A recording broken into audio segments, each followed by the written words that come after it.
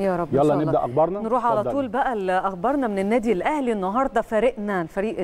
الاول بيواصل تدريباته بيستعد لمباراه مصر المقص زي ما قلنا هيدخل في معسكر مغلق بكره ان شاء الله قبل خوض اللقاء النهارده الفريق اجرى الرابيد تيست عقب ما انهى ميرانو الصباحي وده طبعا وفقا للبروتوكول الطبي المتفق عليه زي ما حضراتكم بقيتوا عارفين النهارده وفي اطار الاستعدادات للمباراه